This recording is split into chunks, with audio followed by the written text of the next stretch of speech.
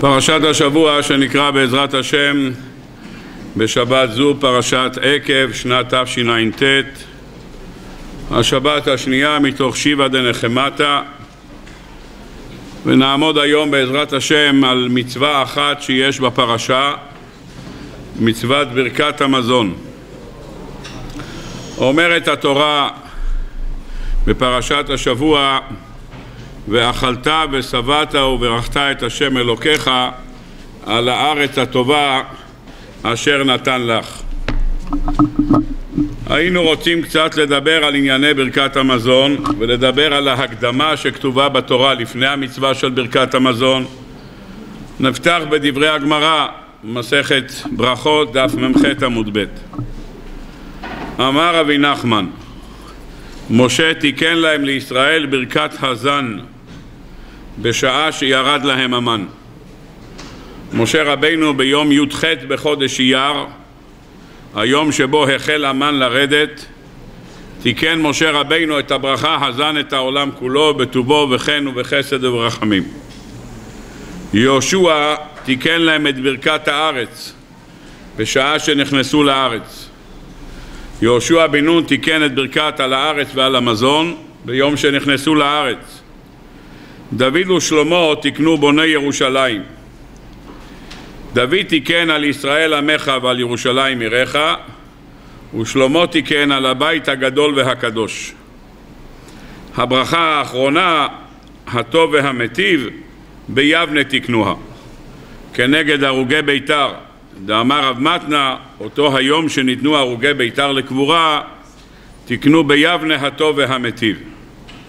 הטוב שלא הסריחו והמיטיב שניתנו לקבורה.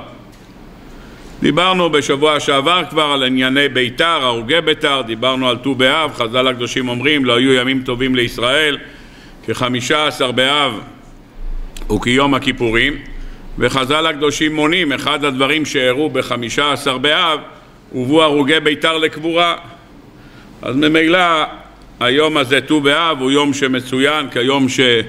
הובאו הרוגי בית"ר לקבורה אחרי שבע שנים שהם עמדו חשופים תחת השמש ולכן תיקנו את הברכה הזאת הטוב והמיטיב. השאלה רק למה תיקנו את זה בברכת המזון על זה דיברנו פעם בשיעור לפני כמה שנים, דיברנו למה הברכה הזאת באה דווקא בברכת המזון ולא בשמונה עשרה אז יש על זה גם בעל הטורים בפרשה, שאדם צריך להזכיר לו את יום המיטה תוך כדי ברכת המזון ולכן קבעו את זה גם בהטוב והמיטיב חז"ל הקדושים שם בגמרא במסכת ברכות, דף מ"ח עמוד ב', סומך את הגמרא, את הברכות האלה, לפסוק בתורה. תנו רבנן, מניין לברכת המזון מן התורה, שנאמר ואכלת ושבעת וברכת את השם אלוקיך על הארץ הטובה אשר נתן לך. ואכלת ושבעת וברכת, זו ברכת הזן. את השם אלוקיך, זו ברכת הזימון. על הארץ זו ברכת הארץ, הטובה זה בוני ירושלים. וכן הוא אומר ההר הטוב הזה והלבנון אשר נתן לך זה הטוב והמיטיב. יש כאן תוספת של החזקוני. יש עוד ברכה אחת שכלולה בתוך ברכת המזון. מביא אותה החזקוני בפרשת השבוע מקורה בירושלמי, הסמג גם מביא את זה בשם הירושלמי כתוב בתורה ואכלת ושבעת וברכת את השם אלוקיך שואל החזקוני למה נאמר את? וברכת השם אלוקיך למה נאמר וברכת את השם אלוקיך? וידוע לכולם שכל מקום שנאמר את זה בא לרבות כמו שלומדים כבד את אביך ואת אמך אומרים חז"ל לרבות את אחיך הגדול אז אם כתוב וברכת את השם אלוקיך מה זה בא להוסיף? אומר החזקוני כאמור הדברים בירושלמי את לרבות ברכת הבעל הבית אורח, בשעה שמתארח אצל בעל הבית, יש ברכת האורח, אתה מברך את הבעל הבית שמארח אותך. וזה מה שנאמר, את השם אלוקיך לברך את הבעל הבית. כך מביא החזקוני וכך מופיע בסמג בשם הירושלמי. הנוסח של הברכה מופיע בשולחן ערוך בסימן ר"א והנוסח שאנחנו אומרים היום לא בנוסח של הבית יוסף. הבית יוסף הנוסח שלו מאוד קצר גם האשכנזים שהברכה היא די דומה למה שכותב הבית יוסף אז שם הנוסח הוא אחרת ממה שאומרים היום בנוסח בני עדות אשכנז מופיע הלשון שאנחנו אומרים היום כך, יהי רצון שלא יבוש בעל הבית בעולם הזה ולא ייכלם לעולם הבא ויצליח מאוד בכל נכסיו. אני מקריא עכשיו בנוסח אשכנז, בנוסח ספרד זה, אני מדבר נוסח הספרדים הוא קצת יותר ארוך, בנוסח תימן זה משולש ומכופל ומרובע מהנוסח שאומרים כולם, התימנים יש להם ברכה, מאוד כדאי לארח תימנים בבית. יש ברכה ארוכה מאוד שהם מברכים את הבעל הבית וודאי שהברכה הזאת באה, מתוך, באה בתוך ברכת המזון מדאורייתא, ודאי שהיא יכולה לחול. וזו ברכה מאוד ארוכה, מאוד יפה אבל לא בכל שבת אומרים את זה אצל התימנים, רק באירועים מיוחדים, כל אחד ואחד וסגנונו, אבל נקרא את הנוסח של האשכנזים. נאמר, יהי רצון שלא יבוש בעל הבית בעולם הזה ולא ייכלם לעולם הבא ויצליח מאוד בכל נכסיו ויהיו נכסיו ונכסינו מוצלחים וקרובים לעיר. בשולחן ערוך לא מופיע נכסיו ונכסינו, מופיע ויהיו נכסיו קרובים לעיר. אנחנו אומרים נכסיו ונכסינו. ואל ישלוט שטן לא במעשה ידיו ולא במעשה ידינו. לא במעשה ידינו לא מופיע בשולחן ערוך. הברכה של השולחן ערוך זה נטו לבעל הבית. אנחנו כבר מסדרים לעצמנו, אם כבר ברכה, בכלל מתי ימנה? מה, רק הוא יקבל? מה, אני כלום? אז גם נכסינו ונכסיו ויצליחנו ויצליחו והכל בסדר. ואל יזדקק לא לפניו ולא לפנינו שום דבר חטא ועבירה ועוון מעתה ועד עולם. זה הנוסח שמופיע בנוסח האשכנזים. כאמור, בכל מקום אנחנו מכניסים גם את עצמנו, ויהיו נכסיו ונכסינו, ואל ישלוט שטן לא במעשה ידיו ולא במעשה ידינו, ואל יזדקק לא לפניו ולא יזדקק לא לפניו ולא לפנינו שום דבר הרהור חטא ועבירה ועוון מעתה ועד עולם. אומר החזקוני, זה מה שנאמר, ואכלת ושבעת וברכת את השם אלוקיך, את לרבות את ברכת הבעל הבית.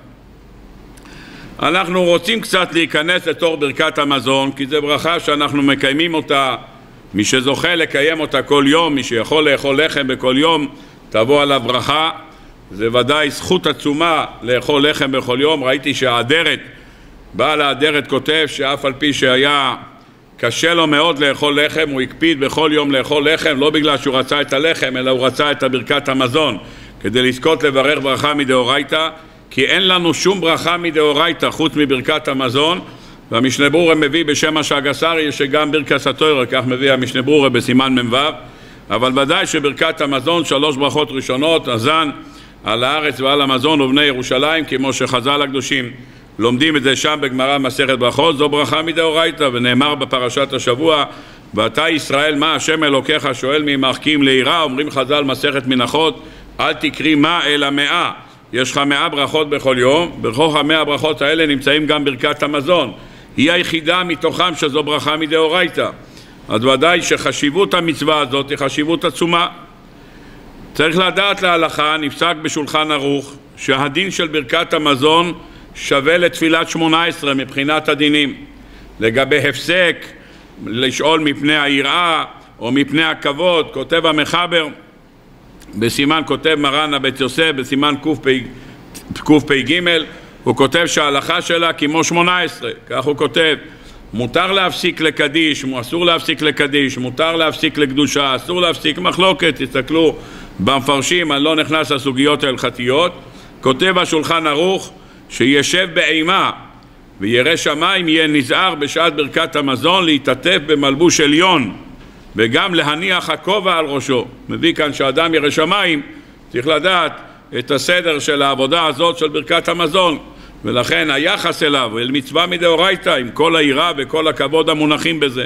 עד כדי כך של רבי עקיבא אגר יש ספק שקטן שהגדיל, ילד בר מצווה. ילד בר מצווה שהיום נגיד היה לו בר מצווה, היום בערב יש לו בר מצווה ו... הוא יודע שהבר מצווה מתחילה בשמונה וחצי והוא רעב, הוא אכל ארוחת צהריים רק באחת והוא רעב, אמא שלו אומרת לו תאכל בעזרת השם בבר מצווה, אומר אמא בבר מצווה אני לא אוכל, ואנשים באים להגיד מזל טוב. ואני צריך להיות מרוכז באנשים, אני לא הולך לאכול. זאת אומרת, תני לי סנדוויץ' עכשיו לאכול. היא נותנת לו סנדוויץ' לאכול והוא נותן ידיים ומברך ברכת המזון.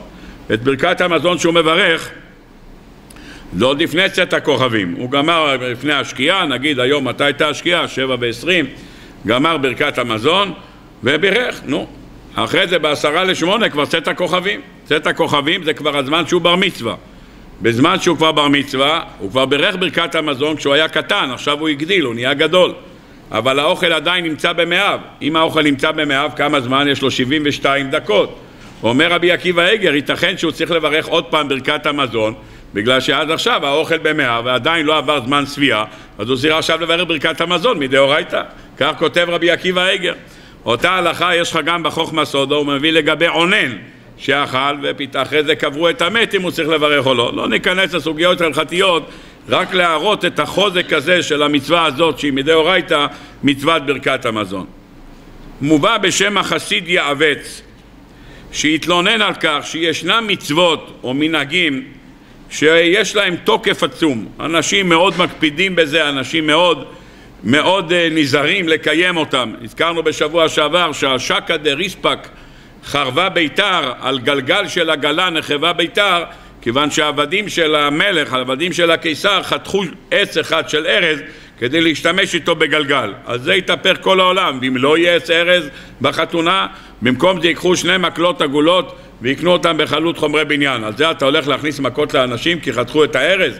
על מה הבלגן הגדול? אבל המנהג הוא שלא חותכים ארז והמנהג הוא שלוקחים לאישה, לוקחים תורנית השיטה, אם אין את הארז מבחינתו הלך עליו ומי יודע מה יהיה, אנשים יש להם כל מיני מושגים במנהגים דברים נוראים, שהמנהג הזה לא קיימו אותו מיד, לא שאנחנו מזלזלים במנהגים, אבל צריך לקחת, לשים פרופורציה. בן אדם, אם לא יהיה לו רוביה או סילקה, לא יהיה לו בשולחן בליל, בליל ראש השנה. מבחינתו נגמר העניין, השנה הלכה, איך אמר לי אחד, עם חיסר אחד מכל סימניה חייב מיתה. אומר, אם אין לך אחד מהסימנים בליל ראש השנה, אומר נגמר הסיפור, אומר אני חייב מיתה, נגמר העניין. אז מה קרה? אז לא יהיה רוביה, מה... ואם תגיד ירא בזכויותינו כרימון, זה לא יהיה רימונים. אז מה? כתוב בהלכה, יש כאלה שלא אוכלים את כל המאכלים האלה, יש כאלה שרק מסתכלים על זה, מחשש, תולעים או כל מיני דברים, רק מסתכלים על זה ואומרים יהי רצון שתחדש עלינו שנה טובה ומתוקה, יהי רצון שירבו זכויותינו כרימון אז אם יהיה רימון או לא יהיה רימון, אז תסתכל על הרימון. לא, אתה לא יכול רימון, תסתכל על התמונה של הרימון. אם לא, תדמיין את הרימון. מה, מזה אתה עושה רעש? יש לך כאן, אומר לנו היעבד, ישנם מצוות שהן מדאורייתא. כותב היעבד, את המצווה של ואכלת ושבעת, את זה הוא יקיים בהידור. בהידור רב, חס וחלילה, שלא יחסר המזג. אם יהיה חסר לו משהו על השולחן, חס וחלילה בתפריט, אם אין מלפון חמוץ 13-18, הוא לא יכול לעבור את השבת, הוא חייב שבת ואסור שיהיה מלפפונים גדולים, הוא צריך אותם בגודל מה שנקרא מדיום או שמאל, כל אחד במידה שלו, אחרת מה, מה פתאום עושים כזה מין חלוקה? אתה מבין שיש בן אדם שזה, אם אין לו את זה אז אין סעודה, מה? אומר היעבץ, ואכלת ושבעת, כולם מקפידים בהידור, שהכל יהיה על כל פרט, על כל צעד ושעל. אבל כשמגיעים למקום הזה ש"ואכלת ושבעת", מגיעים ל"וארכת את השם אלוקיך", איפה הם ואיפה ההידורים שלהם? למה שם אתה לא מקפיד על דקדוק האותיות בכל מילה ומילה? על כל הפרטים הסובבים בתוך הסעודה אתה שם לב שלא יחסר לך פרט אחד. אתה מגיע לברכת המזון. כותב היעבד הכל מקיימים וברכת את השם אלוקיך. ואין הכל מקיימים וברכת את השם אלוקיך.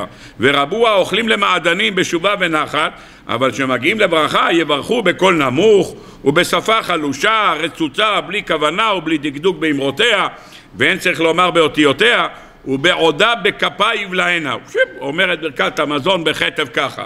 את האוכל הוא לאט לאט במפורת יוסף, יש לו את הסדר שלו ושלא ימהרו אותו לאט לאט, הכל בסדר גמור. אז למה ברכת המזון אתה עושה את זה בכזה פזיזות?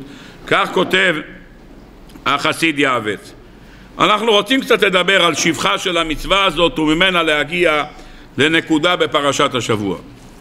הרוקח בסימן של"ז ואותו דבר בתש בסימן שט"ו כותבים שכל האותיות יש בברכת המזון חוץ מפ' סופית. כל האותיות נמצא בברכת המזון חוץ מפ' סופית.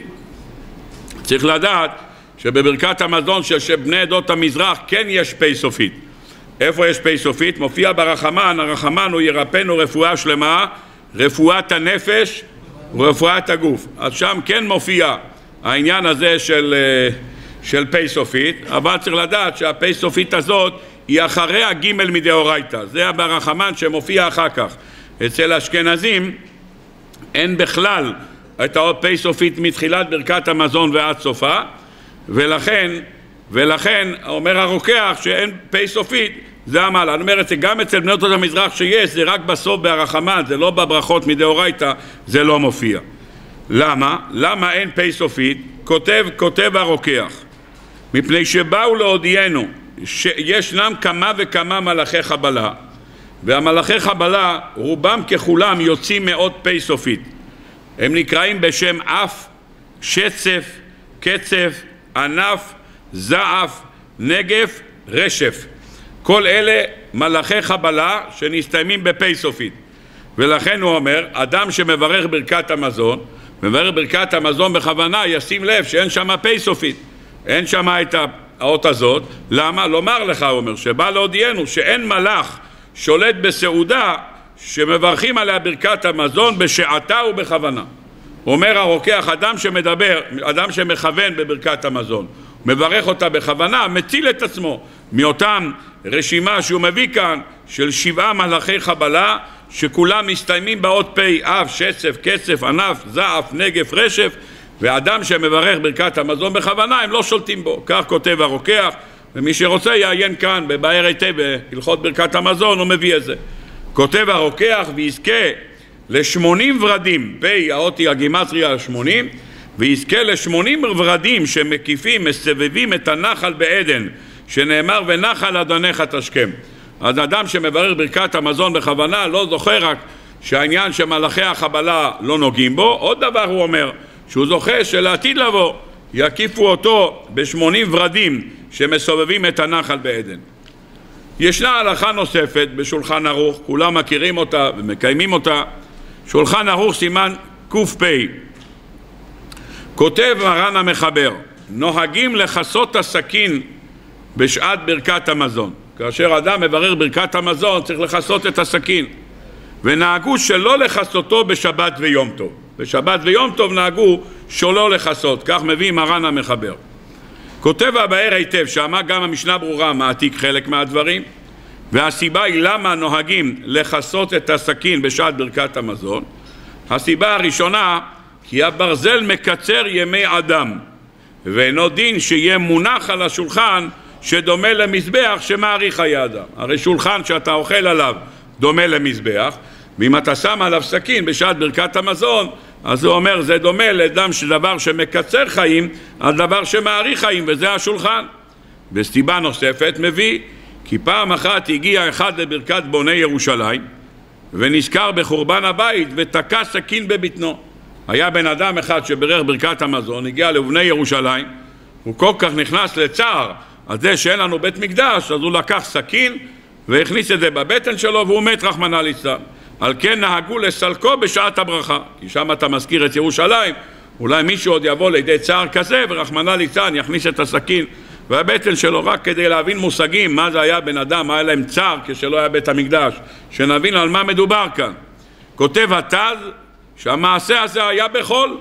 על כן גזרו גם כן בחול. המעשה הזה עם אותו בן אדם שדקר את עצמו היה ביום חול והיות והמעשה הזה היה ביום חול לכן אנחנו נוהגים בחול לכסות את הסכין בשעת הבריכה, בשעת ברכת המזון. ולטעם השני, שלא שמים ברזל כי ברזל מקצר חיים על המזבח, אז למה בשבת לא? משום שאין בונים מזבח בשבת. בשבת אין, לא בונים מזבח, וככה אתה אומר, אינו בדין שיונף המקצר על המעריך, אבל בשבת לא בונים. ולכן הוא מביא שהסיבה הזאת שאנחנו מכסים את הסכין לא קיימת בשבת, ובשבת נהגו שלא לכסותו. כותב הבאר היטב ובמדינתנו נוהגים לסלק את הסכין בין בשבת ובין בחול. אצלנו במדינה, אצלנו בקהילה, נהגו להוריד את הסכין מהשולחן, גם בחול וגם בשבת עשו לו פלוג, הורידו אותו לגמרי.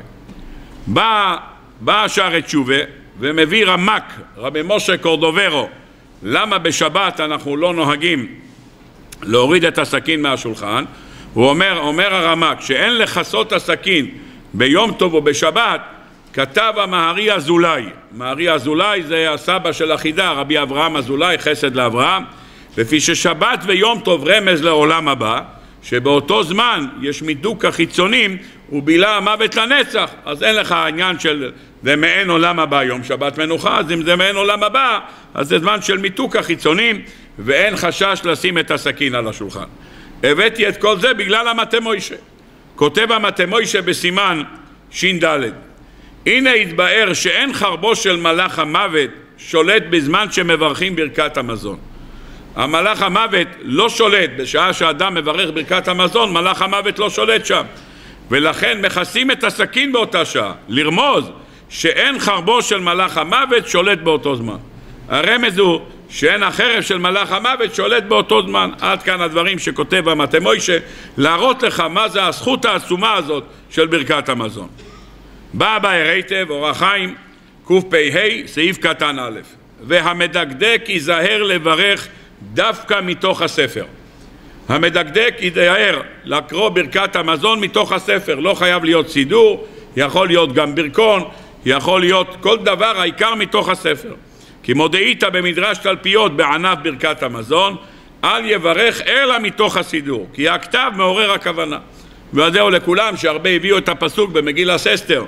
אומרת לנו המגילה, אמר עם הספר ישוב מחשבתו הרע. ברגע שיש לך ספר מול העיניים אז המחשבות הרעות הולכות כי אתה קורא את זה מתוך כתוב כי אם אתה בעל פה אז באים לך כל מיני מחשבות תוך כדי הברכה לכן אדרבה תקרא את זה מתוך הכתב וכשאתה קורא מתוך הכתב הדברים ברורים יותר לפני שנמשיך הלאה בואו נעמוד כמה דקות ברשותכם על החשיבות הזאת של ברכת המזון מתוך הכתב אני רוצה להביא כמה וכמה סיפורים ברשותכם על, על אדם אחד, אחד מגדולי הדור הקודם, מרן הרב שך זכר צדיק לברכה, היה לו קפידה עצומה על עניין ברכת המזון מתוך סידור.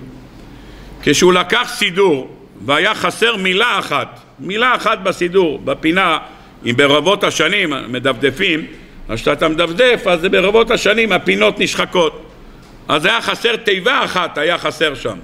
כשהיה חסר תיבה אחת, הוא קם מהמקום, הלך הוציא סידור אחר וקרא מתוך בו את המילה הזאת. אמרו לו, מה המילה? מה קרה? לארץ הטובה אשר נתן לך, רק חסר ל' כ' סופית, גם את הל' עוד רואים קצת, רק חסר, אומר, דבר כזה, צריך לקרוא מתוך סידור ורק מתוך סידור. הוא ירד, שנה אחת הוא ירד לסוכה ושכח להוריד איתו את הסידור, אז הוא עלה למעלה בחזרה כדי להביא סידור לברכת המזון. אין חשש שהרב שך לא ידע ברכת המזון בעל פה, הוא במאה שנה כבר בירך כמה עשרות פעמים ברכת המזון, אז מילא לא היה חשש שהוא לא יודע אותו בעל פה, ועם כל זה הייתה לו הקפדה גדולה מאוד בעניין הזה. מה אני רוצה לספר לכם? בספר על הרב שך ראיתי בכמה וכמה מקומות את הסיפור הבא. הגיע אליו אדם אחד שרחמנא ליצלן היה מוקף בצרות. היו לו צרות כרימונים, הכל היה מלא, כל מקום שהוא הלך מידת הדין פגע בו. הוא בא לרב שך וביקש ממנו, בבקשה כבוד הרב, יורה לי דרך תשובה לבת השובבה, תגיד לי איך אני מסיר מעלי חרון אף. אמר לו הרב שך, אני לא מבין, כתוב במפורש בבית היטב, המקור של זה רוקח. אדם שאומר ברכת המזון בכוונה, לא ישלוט בו לא אף, לא שצף, לא קצף, כל מלאכי החבלה לא שולטים בו. אז יש לך דבר יותר ברור מזה? איפה יש לך מצווה כזאת שכותב לנו הרוקח שאדם שבאר ברכת המזון בכוונה, לא יהיה לו את הזכות הזאת. אתה רוצה להסיר מעצמך את העניין הזה של חרון אף? חרון אף על ידי עניין של ברכת המזון בכוונה. כך כך מסופר בכמה וכמה ספרים על הרב שך. וכאן אני רוצה להביא לכם עוד סיפור אחד, והסיפור הזה באמת סיפור מרתק. יהודי אחד בא, הביא לרב שך קמחא דפיסחא. הביא לו לפני חג, הביא לו כסף לחלק לעניים. אמר לרב שך, תחלק את זה לפי ראות עיניך. טוב. הרב שך שאל אותו אם הוא רוצה ברכה. אמר לו ודאי. אמר לו, אתה רוצה שאני אברך אותך שתהיה עשיר כל ימי חייך? אמר לו ודאי, מי לא רוצה כזה ברכה, בעיקר מישהו שמחפש עשירות, אז ודאי שברכה. יש אנשים שבשבילם להיות עשיר זה קללה, אבל יש אנשים, טוב, ידוע על כולם סיפור, הסטייפלר, אני חושב שיום הזיכרון שלו יהיה בשבת, אני חושב, זה יום הזיכרון של הסטייפלר. נו, אז יהודי אחד היה צריך לעלות לתורה, היה צריך לעלות לתורה, וכל העליות כבר היו תפוסות, והעלייה לתורה הייתה בפרשת התוכחה. שבפרשת בחוקותיי, נו, צריך לעלות לתורה, פרשת בחוקותיי, נוהגים שלא מעלים אנשים לקללות, לא מעלים אנשים, כיוון שזה כל מיני, נותנים את זה או לגבאי, או שהבעל קורא עולה, כן, זה, זה המנהג. קיצור, לא היה עליות, הוא אמר, אני יש לי אורצת, אני צריך עלייה, אז הוא שאל את הסטייפלר אם לקחת עלייה. הסטייפלר אמר לו, תשמע, זה, נוהגים שזה דבר לא טוב לעלות, אז בשביל מה אתה צריך לחפש בית כנסת אחר? נו, הוא משום מה החליט שזה הדבר, הוא יעלה פה, לא, לא נורא, זה פסוקים בתורה, נו, הכל בסדר גמור. יופי, עלה לתורה. עלה לתורה, היה אברך בכולל חזון איש, עלה לתורה, נו, פיין, ברוך השם. אחרי כמה שבועות הוא קיבל מכתב מעורך דין. היה לו דוד, אח של אבא שלו בארצות הברית, ואח של אבא שלו הסתלק לבית עולמו והוריש לו את כל נכסיו, עשרות מיליוני דולרים, הוריש לו, והתנאי היה שהוא יבוא לכאן וימשיך את המפעל של הדוד, הוא סומך את ידיו. נו, עזב את הארץ, נסע לחוץ לארץ, יום אחד הוא בא לסטייפלר ואמר לסטייפלר שהוא עלה לקללות וברוך השם הוא זכה. שהדוד שלו נפטר והוא ירש כמה עשרות מיליונים. אז ברוך השם הוא זכה, לא קרה לו שום דבר. אמר לו סטייפלר לא קרה לך שום דבר, אסון קרה לך. אומר למה אסון? היית אברך בכולל חזון איש עכשיו הלכת לאמריקה לעבוד. יש לך אסון יותר גדול מזה? עד עכשיו היית אברך, ישבת מעל את התורה, אמרת לך שלא טוב לעלות לקללות. נו, יש כאלה שידעו שאם עולים לקללות הדוד של האמת ומוריש להם, הם יבקשו לעלות גם בשני וחמישי, מה שבטוח, שיהיה חזק העניין הזה. אבל ללמד אותנו מה, איך הנוסח של ברכה, אותו יהודי היה יהודי עמיד ורצה ברכה בסייעתא דשמיא, אמר עכשיו אתה רוצה ברכה? אמר לו כן. אמר לו, תדע לך, אם אתה תברך כל החיים שלך אך ורק מתוך סידור בכוונה אני מבטיח לך אושר עד סוף ימיך. יפה מאוד, כזה ברכה, מה יכול להיות יותר טוב? מה ביקש ממנו לצום שני וחמישי? ביקש ממנו להגיד ברכת המזון מתוך סידור. נו, כמה זמן הוא אוכל? בדרך כלל העשירים לא כל כך אוכלים לחם, הם שומרים על עצמם, אוכלים בעיקר רק אה, אה, מה שנקרא גרנולה, כל מיני דברים כאלה, מה שעושים בריאות, אני יודע, אבל טוב, קיבל ברכה, החזיק בברכה הזאת באדיקות, ברוך השם, ברוך השם, המזל האיר לו פנים, והלך והתעשר בסייעתא דשמיא. כעבור כמה שנים הגלגל הסתובב. הגלגל הסתובב. ירד מאיגרא רמא לבירא עמיקתא. הפך להיות תני מרוד. נו, מה הכתובת? מי אשם בזה שהוא ירד לבור תחתיות? חזר לרב שך. חזר לרב שך, אמר לו, כבוד הרב, הבטחת לי עשירות נו, הכל התהפך הגלגל, אומר, אני בקושי, יש לי כסף לגמור את החודש. איפה ההבטחה שלך? אמר לו הרב שך, הבטחתי אבל בתנאי אחד. מה התנאי? ברכת המזון מתוך סידור. אמרת כל הזמן או פספסת? אומר לרב שך, פעם אחת פספסתי. פעם אחת היה לי אונס. מה האונס? שואל אותו הרב שך. נסעתי בטיסה, לא יודע מאיפה לאיפה, אני חושב, אם אני זוכר טוב, היה כתוב שהוא נסע מארץ ישראל לאוסטרליה. אז מארץ ישראל הוא נסע באל על. הגיע לבנקוק, אני לא בטוח שאני הוגה את השמות נכון, הגיע לבנקוק ומבנקוק המשיך לאוסטרליה. אני, אני חושב שזה פחות או יותר המסלול, אם אני טועה אז אה, בי תתלו את הטעות. אני, הספר כתוב את השמות אבל קראתי את זה לפני שנים, תסלחו לי. בכל אופן, הוא נסע, אז באל על אין שום בעיה, נותנים להעלות את התפילין, הם יודעים מה זה, אין שום בעיה. הוא הגיע למקום, לשדה התעופה שמה, איפה שהוא הגיע, אז הוא עלה לאיזה טיסה תאילנדית, ושמה אמרו לו, מה זה הדבר הזה? זה הכל במזוודה, אצלך אתה לוקח רק דברים אישיים. מה שאתה צריך, טלפון, מה, אתה לא לוקח שום דבר, לא מעלים שום דבר בתיק יד. רק דברים, מה שנקרא, מה אתה לוקח לי פה מתקנים, והם גם לא יודעים מה זה בכלל. תשים הכל, תשלח את זה, העבירו בשיקוף, הכל בסדר, שלח את זה עם המזוודה. טוב, הוא שלח את זה עם המזוודה, בתוך הנרתיק של התפילין יש גם את הסידור. יפה מאוד. אז הוא אומר לרב שך, נסעתי בטיסה ולא נתנו לי להעלות את הסידור איתי, שלחתי את זה, הסידור היה בפנים, ובגלל זה לא בירכתי בלי סידור. אומר לרב שך, אז למה אכלת לחם? אם אתה יודע שאין לך סידור, תאכל בננות. תאכל תפוחי עץ, למה אתה צריך לאכול דווקא לחם? אם אתה יודע שאין לך מרכז אומר, אומר אותו אדם, אומר לרב שך, כבוד הרב, אני לא ידעתי, שלחתי את התפילין, אבל אז לא חישבתי שמתחת בתוך השקית של התפילין נמצא הסידור. תמיד הסידור, אני יודע שזה למעלה, אני צריך את הסידור, אני פותח את השקית של התפילין, שולף את הסידור החוצה, מברך, שם אותו בפנים. אבל כששלחתי אותו, שכחתי לשלוף את הסידור, וככה נסעתי, באמצע הדרך הייתי רעב, זו טיסה ארוכה, אז אשתי נתנה לי סנדוויצ'ים עם טונה, נטלתי ידיים שם איפה שהדיילים מזה, נטלתי שם ידיים, ואחרי זה לקחתי את הטונה, בירכתי, הגעתי לברכת המזון, אני רואה שאין לי סידור. הרב אומר לו, תאמין לי, הסתובבתי בכל המטוס לחפש יהודי. אין יהודי, לא היה אחד, היה אחד שחשדתי בו, אולי יהודי. ניגשתי אליו, שאלתי אותו, כמעט הגיש תלונה עליי, על הטרדה. הרב, תאמין לי, לא, באונס גמור, חס וחלילה, לא עשיתי דבר שהוא לא כהוגן. טוב. הרב שך אומר לו, אתה יודע ברכה, איך בירכת ברכת המזון? הוא אומר לו, מה זאת אומרת איך בעל פה? מה? שואל את הרב שך, אתה יודע ברכת המזון בעל פה? אומר לו, כן. אומר לו, אז למה לא, כתב, למה לא קראת מתוך סידור? אומר לו, לא הבנתי. אני אומר לרב, לא היה סידור.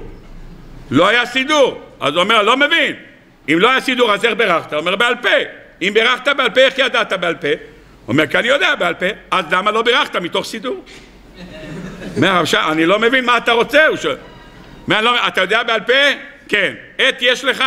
כן. עיפרון יש לך? כן. דף יש לך גם? תשב תכתוב ברוך אתה השם אלוקינו מלך העולם אזן את העולם כולו בטובו אחרי שיהיה כתוב על הדף תתפלל מתוך הסידור אם אתה יודע בעל פה אז מה הבעיה לכתוב את זה? מישהו אמר לך זה צריך להיות הוצאת אשכול? מישהו אמר לך צריך להיות הוצאת עוז והדר? זה יכול להיות גם הוצאת מוישה ברקוביץ' מה זה משנה? תכתוב על הדף ואחרי זה תקרא בתוכו אה, לא חשבתי מי שלא חושב מפסיד, אין מה לעשות מי שלא חושב, לכן אדם שמשקיע ולא חושב, זה מה שקורה.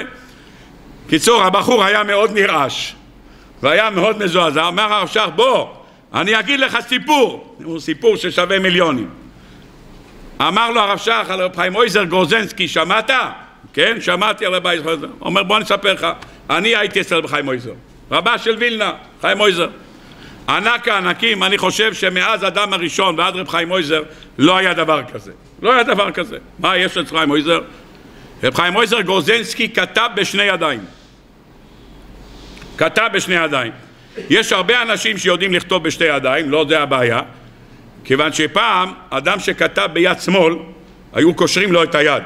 לפני מאה שנים או משהו כזה, אדם שכתב ביד שמאל, קשרו לו את היד, או שמו לו, אני לא יודע, זה, וזה, וזה, תחבושת, שלא יכל לכתוב. פעם מי שכתב בשמאל זה היה נראה שיש לו איזה בעיה נפשית. היו סוגרים אותו וקושרים, סיפר לי פעם חבר שלי שאבא שלו קשר לו את יד שמאל, קשר לו את זה עם חגורה מסביב לבטן. סגר לו את זה, וככה אומר, רק היד הזאת עבדה, הוא פשוט כדי לנטרל אותי עם העניין הזה, אבל אומר, אבל כשהוא לא ראה, עבדתי גם עם זה, והיום אני כותב בשתי ידיים. הוא? הוא סיבך את עצמו, למה הוא סיבך את עצמו? כי הבעיה שלו איפה מניחים את התפילין. אבל לא ידך, הוא אומר, היות ואני כותב בשתי ידיים, אז עכשיו אני צריך להניח בשתי ידיים. גם הרב שטיימן זצ"ל היה מניח תפילין בשתי ידיים, כי הוא כתב בשתי ידיים.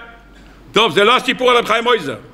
רב חיים מויזר גרוזנסקי כתב בשתי ידיים בו זמנית בשתי נושאים שונים.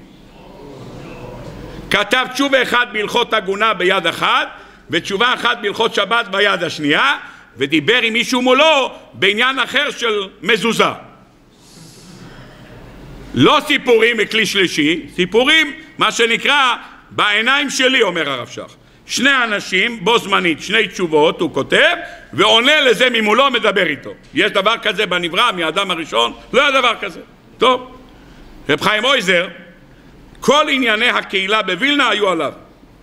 כל ענייני הקהילה. מה זאת אומרת? הצדקות, ההכנסות של קופת הצדקה, הכל בא לשולחנו, היה ספר הקהילה של וילנה, מה תרמו, איך תרמו, כמה מכרו כל נדרי, כמה מכרו הטהורייסר, כמה מכרו, הכל היה רשום שם, מי קנה, ברקוביץ', משקוביץ', לבקוביץ', הכל היה רשום, והכל היה שמות, כל אחד כמה נתן, יופי, היה רשימה. הכנסות, הוצאות, כמה נתנו קמחא דפסחא, כמה נתנו לראש השנה, כמה נתנו לשמחת תורה, חלוקה, הכנסת כלה, לוויית המת, הכל היה שם מסודר. יופי, חיים עוזר עבר על הכל, אין דבר שהוא לא אישר. חיים עוזר עבר דירה, וכשהוא עבר דירה, סידרו את הבית שלו, סידרו את הבית, נעלם הפנקס הזה. פנקס של עשרות שנים של תרומות בקהילה, הלך לאבדון, אין פנקס. פנקס כזה, אתם יודעים מה זה לארגן אותו? הגבאים נפלו פניהם. וואו, אין פנקס, הם לא יודעים מי חייב, מי לא חייב, זה תרם, הבטיח שיתרום, זה ככה, כמה הוא שילם על החשבון, יתחיל עכשיו סיפורים, הוא יגיד שהוא כבר שילם ולא שילם. הם נכנסו מה שנקרא לדאון. היו ככה, רב חיים מויזר רואה אותם, שואל אותם, למה נפלו פניכם, מה קרה, כולכם הולכים פה ככה? מה קרה? אמרו לו, כבוד הרב, הספר של הכנסות והוצאות של קהילת וילנה, אמרה שהרב עבר דירה, זה הלך לאבדון. אנחנו לא יודעים מי תרם, איך תרם. אוטוטוט מגיע אלו, אנחנו לא יודעים כמה מכרנו מקומות, כמה על השורות ראשונות, כמה אחרונות, כמה מכרו את פתיחת ההיכל לדוד מזמור בליל ראש השנה, וכמה מכרו בפתיחת היכל בי"ג מידה של רחמי. בקיצור, אין לנו את המספרים, אנחנו לא יודעים בכמה להתחיל למכור. בחי רובל, ב-26 רובל, 360 רובל, לא יודעים. צריכים את הדף. אומר חיים מויזר, מה הבעיה? תביאו ספר ריק. תביאו ספר ריק. אותו עובי מה שהיה פחות או יותר 800 עמודים, תביאו אותו, תביאו לפה. קיצר לקח את הספר, ותוך כמה ימים סידר להם את כל הספר מההתחלה ועד הסוף. סידר את הכל, הכנסות, תוצאות, כמה זה תרם, זה תרם, מי לא תרם, מתי שילם, לא שילם, מתי הכל, והכל תאריכים, מסודר. זה תרם עד כאן וכאן, הוא מת, אז ידעו שמהשבוע הבא הוא כבר לא נמצא השם שלו, הכל היה מדויק, מהתאריך הזה זה נמצא וזה לא נמצא, הכל מסודר. לא, הגבאים, הרב הרב, אבל בטח פספס איזה חמש, שש, שמונה, אחת עשרה אנשים על הדרך, מה, הכל הוא זוכר, בטח פספס, מה, בן אדם, בן אדם לא, בן אדם, טוב, הרבאים אמרו, אמרו, מה, פספס, פספס, אבל רוב הנתונים כבר יש לנו, יופי, בסייעתא דשמיא. לימים חיפשו בין הספרים, נמצא הספר, מצאו את ספר הקהילות של וילנה. מצאו את ספר הקהילות, והיה לגבאים עכשיו, מה שנקרא, לבדוק עד כמה הרב שלהם כישרונים, הוא יודע את החשבונות של הנדרים ולא נדרים. קיצר, עברו דף דף, שם שם, כל המספרים התאימו עד לאחת, שום דבר לא נעדר, הכל היה כתוב. אותו עשיר מסתכל על הרב ואומר לו, כבוד הרב, לא הבנתי, מה הסיפור על חיים מויזר? מה אתה מספר לי עכשיו סיפורי צדיקים? זה לסעודה, מוצאי שבת. יש זמן של סיפורי צדיקים. מה אתה מספר לי את הסיפור הזה? אומר לו הרב שך, אתה יודע למה אני מספר לך את הסיפור הזה? יש לך ספק שחיים מויזר ידע ברכת המזון בעל פה? יש לך ספק? אם הוא כותב בשתי ידיים ומדבר עם בן אדם דבר שלישי ויודע להעתיק את מה שהוא ראה פעם אחת בחיים שלו, הוא יודע להעתיק את זה בעל פה, יש לך ספק אם הוא יודע ברכת המזון? ורב חיים מויזר מעולם לא בירך ברכת המזון שלו מתוך סידור. אני בא להראות לך עד כמה העניין הזה של ברכת המזון מתוך הכתב עד כמה היא חמורה. טוב, לאחר הדברים האלה בואו נלמד קצת על הסגולות של ברכת המזון. כתוב בחינוך מצוות ת"ל, החינוך, רבי אהרון ברבי יוסף הלוי מברצלונה כותב החינוך במצוות ת"ל כך מקובלני מרבותיי ישמרי מקל שכל הזהיר בברכת המזון מזונותיו מצויים לו בכבוד כל ימיו. אדם שמברר ברכת המזון, כך הוא אומר, בזהירות, מזונותיו מצויים לו כל הזמן, אנשים מחפשים פרנסה, אין פרנסה יותר טובה, ברכת המזון בכוונה. כותב הניצוצי אורות לחידה, חלק ב' עמוד רי"ח סגולה לפרנסה, לברך ברכת המזון בקול ובשמחה. ורמז לדבר, ברכת השם היא תעשיר. כותב אחידו, כלומר ברכת המזון שחיובה מדאורייתא, ברכת השם, שאר הברכות זה מדרבנן, ברכת השם ואכלת ושבעת וברכת, היא תעשיר, זה מה שנותן לבן אדם אושר. אתה מחפש אושר? אתה מחפש פרנסה בשפע? הפרנסה בשפע טמונה בדבר אחד, בתוך הברכת המזון בכוונה, כותב לנו אדוננו החידה רבי דוד אזולאי. כותב רבי חיים פלאצ'י בספר כל החיים, כותב כך להודיע הדברים אשר יזכה בהם האדם לזקנה ושיבה. אתה רוצה לזכות לזקנה ושיבה? אנשים בטח עושים. יש ויטמינים, עושים טנטרום, יש כל מיני דברים שאוכלים אותם כדי להאריך ימים עד 120 שנה. כותב לנו רבי חיים פלאג'י, אתן לך זכות.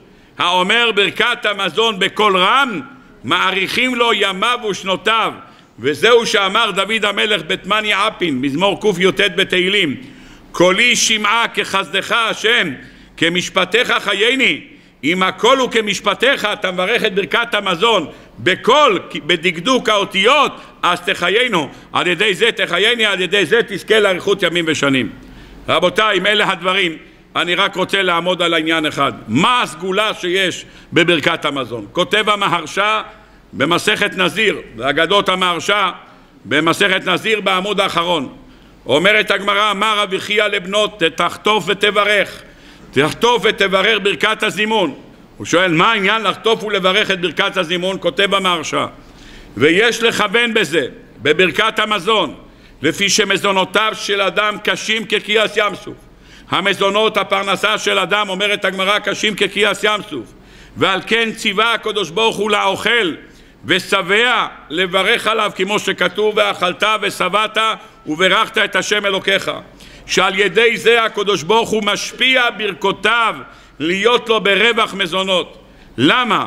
כי יש לו לאדם מקטרגים בדבר, לכן זה קשה כקריאס ים סוף, כי גם קריאס ים סוף היה קשה להוציא אותם ממצרים. למה היה קשה אותם להוציא אותם ממצרים? כי היה שם עוזה השר של מצרים, מה הוא אמר? הללו עובדי עבודה זרה והללו עובדי עבודה זרה, היה מקטרגים. איך משתיקים את המקטרגים? באים אנשים ואומרים, מה ריבונו שם, אתה נותן לו משכורת? למה אתה נותן לו משכורת? לא מגיע לו משכורת. לא מגיע לו שיהיה לו פרנסה בשפע. הוא אומר, כי יש לו לאדם מקטרגים בדבר, מלתת לו מזונותיו הקשים ברווח. ואילו הברכות, אלו המליצים יושר וסנגורים טובים לנגד המקטרגים. כותב המהרשו שאתה מברך, אתה מייצר סנגורים טובים שישתיקו את המקטרגים. ולזה דימה הברכות ועניית האמן לגוליירין המתגרים ולגיבורים המנצחים במלחמה כי זהו ממש כמו שכתבתי שהברכות הם הגוליירים ועניית האמן הם הגיבורים לנצח במלחמה נגד המקטרגים שהם עליכם משחית. רבותיי, לא רק מה שקראנו עד עכשיו, כותב לנו המאור בשמש בפרשת משפטים שאדם שאוכל ומברך זה סגולה לעוד דבר. למה זה סגולה? זה סגולה לבריאות איתנה. האדם שאוכל, רבותיי, אוכל זה דבר שמאוד מאוד מסכן את האדם. צריך לדעת שאדם שאוכל זה מתערב באדם ורחמנא ליצלן זה מביא סוכר ומלח ו- וכולסטרול וכל מיני בעיות, זה סותם כל מיני מערכות, צריכים הרבה סייעתא דשמיא שהאוכל הזה לא ישפיע חס וחלילה על מערכות רבות בגוף. כותב המאור בשמש על פסוק בפרשת משפטים, אומרת התורה, וברך את לחמך ואת מימיך ואסירותי מחלה מקרבך. כותב המאור, בש... כותב המאור בשמש, לא כתיב ואברך את לחמך, אלא וברך את לחמך. וקאי על הברכה שמברך האדם על אכילתו ושתייתו, וזהו פירוש וברך את לחמך, כשתברך על מזונך בקדושה ובטהרה, והסירותי מחלה מקרבך. דהיינו שהמאכל עצמו יהיה רפואה. והפשט הוא ברך את לחמך, הלחם עצמו יהיה רפואה, וזה מה שכתוב והסירותי מחלה בקרבך. בא שח על התורה וכותב שלא רק בחייו של האדם ברכת המזון מגינה עליו, גם אחר מותו של האדם ברכת המזון מגינה עליו. מה יש לברכת המזון להגן על האדם לאחר מותו יותר מאשר בחייו? כותב השח על התורה אדם שמדקדק בברכות ומברך לפניה ולאחריה לא אוכלים אותו תולעים לאחר מותו כך כותב השח על התורה שמעתי שכל המברך כל אדם שמברך על כל מה שאוכל ואינו מכניס לגופו שום דבר בלא ברכה ראשונה ואחרונה כשמת אין התולעים שולטים בגופו למה? לפי שהתולעים הם ממין הקללה שנאמר בפרשת כי תבוא כי תאכלנו התולעת והברכה הפך הקללה שנאמר להניח ברכה אל ביתך והבית של האדם זה הקבר שלו, הוא נמצא שם יותר זמן ממה שהוא נמצא מחוץ לקבר אז לכן והניח ברכה על ביתך, מה הברכה? וברכה בגימטריה כרוז שמכריזים כותב השח שלא ייגע בו שום נזק וברכה בגימטריה זכר לפני שמזכירים שמו הוא מברך על כל דבר ודבר שהיה אוכל ולא נהנה משום דבר בלי ברכה. לכן מצילים אותו מתולעים. כך כותב השח על התורה. בא הספר שער החצר ואומר שזה מה שאומר דוד המלך בתהילים מזור קמ"ה תהילה לדוד. איך זה מסתיים? תהילת השם ידבר פי ויברך כל בשר שם קודשו לעולם ועד כותב שער החצר. אם אתה תהילת השם ידבר פי ואתה מדבר כל הזמן ברכה לפני האוכל וברכה אחרי האוכל אז ויברך כל בשר, גם אחרי שתמות, כל הבשר ימשיך לברך. למה? כי התולעים לא יאכלו אותך. אז כל הבשר ימשיך להלל לקדוש ברוך הוא. במה? בזה שאדם מברך ומקפיד על האוכל, זה יגן עליו. טוב, עד כאן הדברים שליקטנו קצת מסביב לעניין של ברכת המזון לפני שנתחיל לדבר על ברכת המזון. אז בואו ברשותכם ניכנס בסייעתא דשמיא לתוך הסוגיה. ברוך אתה אדוני אלוהינו מלך העולם שהכל נהיו בדברו. רבותיי, מי הראשון שבירך ברכת המזון? אברהם אבינו. אברהם אבינו, אומרת הגמרא הסוטה, דף י עמוד ב', על הפסוק והייתה אשל בבאר שבע, אמר אש לקיש, מלמד שעשה פרדס ונטע בו כל מיני מגדים. ויקרא שם בשם השם כל עולם, אמר אש לקיש, אל תקרי ויקרא אלא ויקריא. מלמד שהקריא אברהם אבינו לשמו של הקדוש ברוך הוא בפה כל עובר ושב, כיצד? לאחר שאכלו ושתו עמדו לברכו, אמר להם וכי משלי אכלתם? משל אלוהי עולם אכלתם הודו וברכו ושבחו למי שאמר והיה עולם ומי שלא רצה לברך היה צריך לשלם הרבה כסף אברהם אבינו אמר רבותיי אוכל במדבר עולה הרבה כסף עולה 500 שקל ארוחת צהריים הוא לא מה? 500 שקל? מה קרה לך? אפשר להשיג את זה ב-100 שקל? בבקשה תלך ב-100 שקל אבל יש לך אפשרות לא לשלם תגיד תודה רבה לבורא העולם על האוכל. זה מה שתגיד. למה לא? אף אחד לא עושה 500 שקל בדקה ורבע. תגיד תודה רבה על האוכל, כמה זה? עשר שניות, 500 שקל? כל אחד מאיתנו מוכן לעבוד בכזה עבודה. נו, בסייעתא דשמיא, אז כולם אמרו תודה רבה ריבונו של עולם על האוכל. סליחה רק אברהם, מי זה ריבונו של עולם? רק תעדכן אותי על מה זה... אז הוא התחיל להסביר להם, יש קודש ברוך הוא, אלוקי השמיים, ואלוקי הארץ, הוא מביא גשם, הוא מביא רוחות, הוא מזריח את השמש, וכך זורים באדמה, אדמה מצמיחה, הכל במאמר פיו. רבותיי, כמה אנשים הצליח אברהם אבינו לגייר אודות ברכת המזון? כותב הרמב"ם, אלפים ורבבות אנשים הצליח לגייר אברהם אבינו ושרה ממנו את הנשים. הכל דרך מה? הכל דרך ברכת המזון. ברכת המזון שאברהם אבינו חינך אותם ואמר להם רבותיי תברכו ברכת המזון.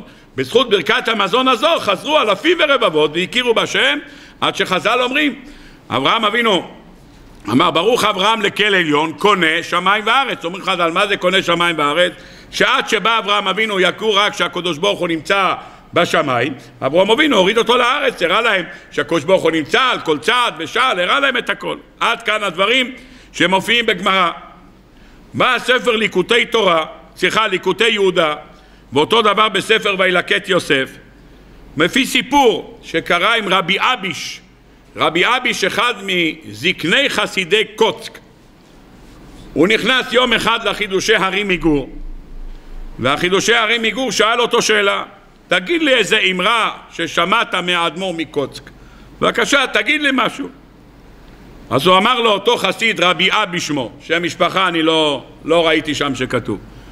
אותו רבי אביש אמר לו, פעם שאל האדמו"ר מקוצק שאלה אם אברהם אבינו הצליח לגייר אלפים ורבבות ולהביא אותם להכרה שיש קדוש ברוך הוא ושהוא מנהיג את העולם והוא זן ומפרנס מקרני רעמים עד ביצי כנים והקדוש ברוך הוא זן את העולם כולו בטובו בחן ובחסד וברחמים ואלפי אנשים ורבבות אנשים כמו שמביא הרמב"ם שכל מילה ברמב"ם מדייקים אותה עד לאחת איך יכול להיות, שאל הרבי מקוצק, שאנחנו מברכים ברכת המזון ולא מקבלים יראת שמיים?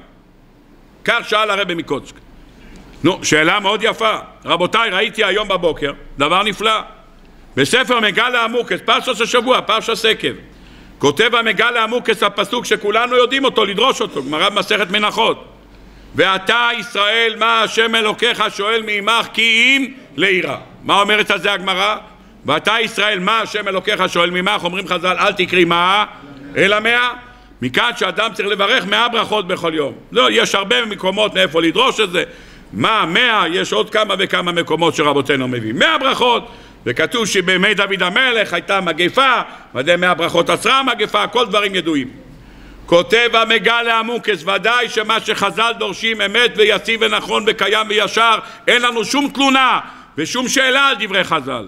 אומר המגל לעמוקס, ליבי אוימר לי, ואתו ישראל מה השם אלוקיך שואל מעמך, זה בירקס המוזן. למה? כי אם לעירו האדם שמברך ברכת המזון מקבל יראת שמיים. איפה זה כתוב כאן? כתוב ואתה ישראל מה השם אלוקיך. אז חז"ל אומרים אל תקרי מה אלא מאה. אומר על גל עמוקס לא, הכוונה לברכת המוזן שבברכת המזון יש מה ברכות. מה זה מה? 45 ברכות. איפה יש 45 ברכות? האדם אוכל כמה פעמים ביום? פעמיים ביום, נכון? בבוקר לחם לאכול ובערב בשר, נו, אז זה מה שאתה אוכל פעמיים ביום. כמה ברכות יש לך בכל ברכת המזון? שלוש יש לך מדאורייתא. שלוש בבוקר ושלוש בערב. אז כמה יש לך כל יום? שש. שש כפול שש? שלושים ושש, יופי. כמה יש לך בשבת? כמה ארוחות? שלוש ארוחות. שלוש ארוחות כפול שלוש ברכות בכל ארוחה? תשע. תשע ועוד שלושים ושש? ארבעים וחמש. אומר המגלה עמוקס ואתה ישראל מה השם אלוקיך שואל ממך תברך 45 ברכות בשבוע של ברכס המוזן אתה יודע למה תגיע כי אם לעירו אין לך דבר שמביא השמיים יותר מברכס המוזן שאתה יודע שהקדוש ברוך הוא זן את העולם כולו בחן, בחסד, ברחמים הוא נותן לחם לכל בשר כי לעולם חזור הכפירים השואגים לטרף לבקש מקל אוכלם. כולם מקבלים מהקדוש ברוך הוא מזונות. אז מזה לבד אתה מקבל יראת שמיים. שאל האדמו"ר מקוץ, נחזור לשאלה שאמר רב אביש, שאל האדמו"ר מקוץ, איך יכול להיות שאברהם גייר אלפים ורבבות של בעלי תשובה דרך ברכת המזון, ואנחנו לא מגיעים ליראת שמיים אפילו מברכת המזון? אמר לו החידושי הערים, עד שאתה שואל אותי מברכת המזון, אני רוצה לשאול אותך מהאוכל בעצמו. האדם אוכל, מזה לבד שהוא אוכל, הוא צריך להגיע ליראת שמיים. למה? כי הנביא אמר לנו בהפטרה שקראנו בדברים. מה אומר הנביא? ידע שור קונהו וחמור אבוס בעליו. החמור מכיר מי הבעל הבית שלו, השור מכיר מי הבעל הבית שלו. למה בחרו שור ולא כלב וחתולה? כלב מכיר הרבה יותר טוב, כשהבעל הבית מגיע הוא עוד קופץ עליו מרוב שמחה, חמור לפחות לא קופץ, יש לו איזה דיפלומטיה, הוא לא קופץ, הוא יודע שהוא לא בר פלוגתא שלו. אוי ואבוי אם החמור היה מתחיל לקפוץ על הבעל הבית. ברוך השם, יש לו רספקט מעל הבעל, אבל ידע שור קונהו וחמור אבוס בעליו. נו, שאת השאלה, שואל החידושי הערים, למה אתה צריך להגיע לבית המזון? מהאוכל אתה רואה את הקדוש ברוך הוא. למה אתה לא מקבל יראת שמיים מהאוכל? נו, אמר לו החסיד, אני לא מבין, באתי עם שאלה אחת, קיבלתי עוד אחד, אחד פלוס אחד. על הראשון לא קיבלתי תשובה, מה אתה בא עם שאלה שנייה? מה אמר לו? אמר לו הנביא עצמו אומר תשובה, ישראל לא ידע, אתה יודע למה? כי עמי לא התבונן. אם אדם היה מתבונן קצת באוכל, היה מתבונן רק בברכה הזאת של חן וחסד ורחמים. רבותיי, כמה חן יש באוכל. תארו לעצמכם שכל הפלפלים היו בצבע שחור. כל הפלפלים. צבע אחיד שחור, בלק, הכל שחור. ככה יש לך אדום וירוק וירוק בהיר וירוק כהה ויש לך צהוב ויש לך בן פורת יוסף, אתה מביא פלפלים, אתה מביא את כל צבעי טמבור, בן פורת יוסף. הכל היה שחור, כל פרי הדר היה בצבע אחד, ככה יש לך ברוך השם צבע כזה, צבע כזה באפרסקים, ויש לך כזה וכזה באפרסמון, ויש לך כל הצבעים האלה, אה, ברוך השם אבטיח, ברוך השם, ירוק מבחוץ, אדום מבפנים, ברוך השם, ענבים שחורים וענבים לבנים, איזה צבעים, איזה צבעים בעיניים שלך, והאננס מאן דחר שמי בסייעתא דשמיא, והליצ'י, והמנגו וכולי וכולי, אתם לא צריכים להזיז כולם את הלשון בקצב הזה, אבל בעיקרון רק שתבינו, מה זה? בחן ובחסד וברחמים. הקדוש ברוך הוא יכל לתת הכל צבע אחיד, הכל אותו צבע, הכל. מה שאתה אוכל, מלפפון ארוך, עגבנייה עגולה, פצנון, הכל אותו צבע, הכל שחור כהה. נו, בן פורת יוסף, היית אוכל את זה? אי אפשר לאכול את זה. שחור כהה, מי יכול לאכול את זה? הכל היה אותו צבע. אז דן את העולם כולו בטובו בחן ובחסד וברחמים. תראה כמה חן יש לך באוכל, כמה הקדוש ברוך הוא רצה שהעיניים שלך ישבעו מהאוכל, שאתה רואה את זה בצבע הזה, ואת זה בצבע הזה, כמה זה נותן לך הנאה באכילה. תראה כמה הקדוש ברוך הוא מרחם עלינו.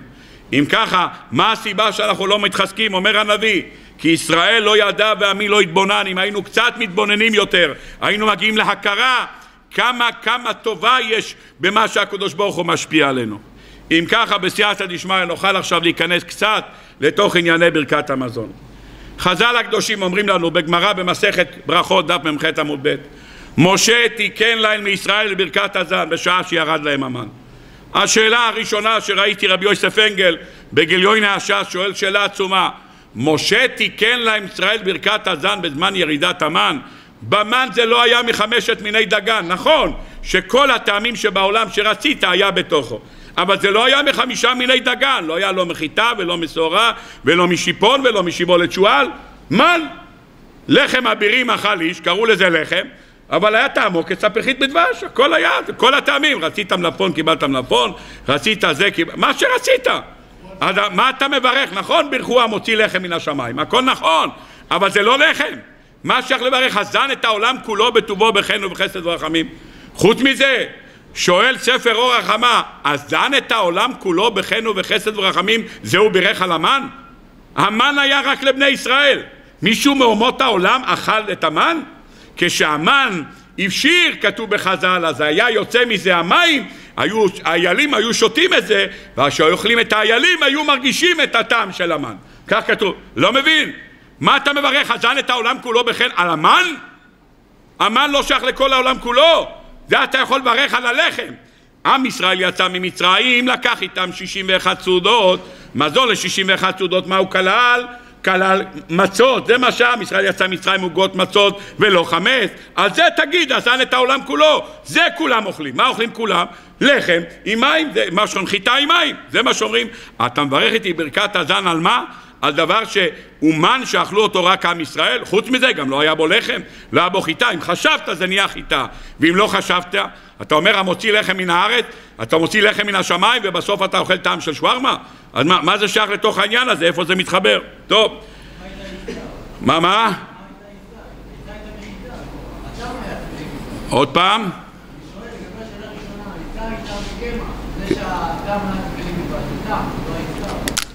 העיסה לא כתוב שהיא הייתה מקמח.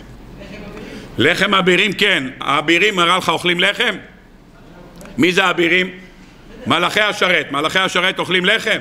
לא, זה נקרא לחם אבירים, זה לחם שמלאכי השרת אוכלים אותו ואין בו שום דבר. הוא מזון רוחני. הוא מזון רוחני והמזון הרוחני הזה לכאורה לא קשור לברכת המזון. תכף אנחנו נראה מה מונח כאן. הרשב"א שואל, אני לא מבין, למה משה רבינו לא תיקן את הברכה הזאת כשיצאו ממצרים? הרי יצאו עם 61 סעודות, שם אכלו לחם אורגינל. למה שם הוא לא תיקן, אזן את העולם כולו? למה הוא חיכה לירידת המן? היה להם לחם, תברך על זה תקן ברכת הזן. מה הוא חיכה שירד המן? י"ח באייר התחילו לברך. מה בירכו בט"ו בניסן? גמרו לאכול את המצה, מה הם אכלו? מה הם בירכו? אמרו תודה רבה ריבונו של עולם שנתת לנו לחם. למה משה רבינו שם לא תיקן? תתקן את ברכת הדן, את הלחם שהוציאו ממצרים, שם תתקן את זה. מה חיכית עד י"ח באייר? שואלים מפרשים רבים. רבותיי, אני לא נכנס לשאלה ששואל הרשב"א. שואל הרשב"א, אני לא מבין. לפני שמשה רבינו תיקן, לא בירכו. לא בירכו. מה בירך משה רבינו כשהוא אכל במצרים? מה בירך עמרם כשהוא בירך במצרים? אף פעם לא בירכו על ברכת אדם. משה תיקן להם הזן? ודאי שבירכו. אלא מה? לא בירכו בנוסח הזה של הזן את העולם כולו בטובו בחן ובחסד ורחמים זה לא בירכו אבל ברכה ודאי שהייתה עמרם בירך ומשה רבינו בירך ואהרון בירך ושבעים זקנים אכלו במצרים בירכו ודאי שהם בירכו רק לא בנוסח הזה אם לא בנוסח הזה אז מה היה חשוב כל כך למשה רבינו? לתקן את ברכת המזון על המן שהמן הוא זמני בלבד המן הוא זמני בלבד כמה זמן יהיה להם מן? כמה זמן? אם אמורים להיכנס לארץ ישראל על המקום, זה מקסימום שנה, נכנסים לארץ ישראל. כל זה מה שהקדוש ברוך הוא נתן מן, ולא הביא משלוחים מאנג'ל, זה רק כי הקדוש ברוך הוא רצה שנאכל מן לפני מעמד הר סיני. למה? כי הקדוש ברוך הוא רצה שכולנו נהיה מלאכי השרת. כולנו נהיה בחינה של מלאכי השרת. למה? כי כתוב בחז"ל שאי אפשר לראות את הקדוש ברוך הוא כי לא יראני האדם וחי. מלאכים יכולים לראות, עד כמה שמותר להם, הם יכולים לראות. מה הכוח שיש למלאכים יותר מאשר בני אדם? אומרת הגמרא במסכת חגיגה, בן אדם דומה בשלושה דברים למלאכים ובשלושה דברים דומה לבהמות. אומרים חז"ל, הולך בקומה זקופה כמלאכים, יש לו דעת כמלאכים, הוא מספר בלשון הקודש כמלאכים, אבל בשלושה דברים אנחנו דומים לבהמות. במה? אוכלים ושותים כבהמות, מוציאים ראי כבהמות ופרים ורבים כבהמות. מה עשה הקדוש ברוך הוא? אם הוא הולך לרדת על הר סיני, אז צריכים לראות אותו, נכון? כל עם ישראל אמר, הנה, אתה הורית לדעת כי השם הוא אלוקים, אין עוד מלבדו, כולם ראו אותו. איך אתה יכול לראות אותו? כי לא יראני אדם בחי. אמר הקדוש ברוך הוא, אני ארומם אותם לדרגה של מלאכים. איך אפשר לרומם אותם לדרגה של מלאכים? אתה יודע איך? נותנים להם לאכול מן. מה עושה מן? מן זה אוכל של מלאכי השרת. אז בעוד דבר אנחנו כמו מלאכים. המן, מי שאוכל אותו, הוא נבלע באיברים, גם אין לו יציאות. אם אין לו יציאות, אז הוא גם לא, לא יוצא כמו בהמות. וחוץ מזה, לפני מעמד הר סיני, אמר הקדוש ברוך הוא, אל תיגשו אל אישה. אז גם לא פרים ורבים כמו, כמו בהמות. אז הפכנו להיות בשישה כמלאכי השרת. אם הפכנו בשישה כמלאכי השרת, אז יכלנו לראות את הקדוש ברוך הוא. יוצא שכל נתינת המן הייתה הכנה לקבלת התורה. מה אומרים חז"ל במחילתא? לא ניתנה תורה אלא לאוכלי המן. כל נתינת התורה הייתה לאוכלי המן. למה? כי המן הוא דבר מזוכח, הוא אוכל של מלאכי השרת, וזה הקדוש ברוך הוא נתן לנו. רבותיי, היום אנחנו מברכים אזן את העולם כולו, אזן את העולם כולו זה לא ברכה על המן, אזן את העולם כולו על מה הברכה? הברכה היא על מה? לחם, זה לא קשור למן. משה רבנו תיקן את הברכה הזאת על מן, ואנחנו מברכים היום את הברכה הזאת על לחם. איך יכול להיות דבר כזה? טוב, רבותיי, בספר אור החמה הוא שואל שאלה נוספת מה פירוש הדבר שאנחנו אומרים תמיד לא חסר לנו ואל יחסר לנו. תמיד לא חסר לנו ואל יחסר לנו, הרי יש בני אדם שכן חסר להם. אז איך אתה אומר תמיד לא חסר לנו ואל יחסר לנו? התשובה לכך היא פשוטה מאוד ונחלק אותה לכמה חלקים.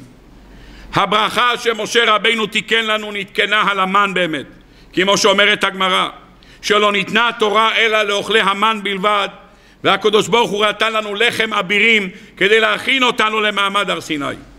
והברכה הזאת מיוחדת על המן. אז מה אנחנו מודים? אזן את העולם כולו. אומר הספר אור החמה, ודאי שהקדוש ברוך הוא זן את העולם כולו בחן ובחסד וברחמים. אבל אנחנו, יש לנו מהות אחרת לגמרי. מה המהות שלנו? את עם ישראל הקדוש ברוך הוא זן במן. במה נאמר תמיד לא חסר לנו ואל יחסר לנו? למה במה נאמר? כי כתוב בתורה בפרשת בשלח וילקטו המרבה והממית וימודו בעומר ולא העדיף המרבה והממית לא החסיר איש לפי אוכלו לקטו. פירוש הדבר תמיד לא חסר לנו ואל יחסר לנו. לקחת הרבה, לקחת קצת, היה לך בדיוק כמו שאתה צריך. אומר משה רבינו אני מברך אותך על האכילה הזאת. רבותיי אם ככה למדנו שהברכה הזאת שאנחנו מברכים היום יש בה חלקים מעניין המן שירד במדבר.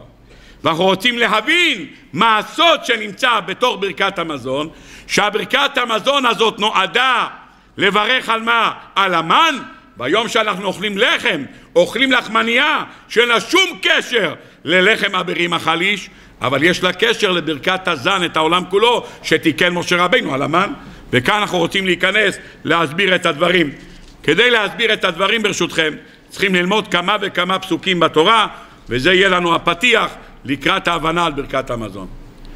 לפני שהתורה כותבת לנו ומצווה אותנו לברך ברכת המזון, התורה מביאה הקדמה שלמה על סדרת העינויים שעברו ישראל במדבר לפני שהם הגיעו לארץ ישראל. נקרא את הדברים בפנים. כל המצווה אשר אנוכי מצווך היום תשמרו לעשות למען תחיון ורביתם ובתם וירשתם את הארץ אשר נשבע השם לאבותיכם וזכרת את כל הדרך אשר הוליכך השם אלוקיך זה ארבעים שנה במדבר למען ענותך לנסותך לדעת את אשר בלבבך תשמור מצוותיו אם לא.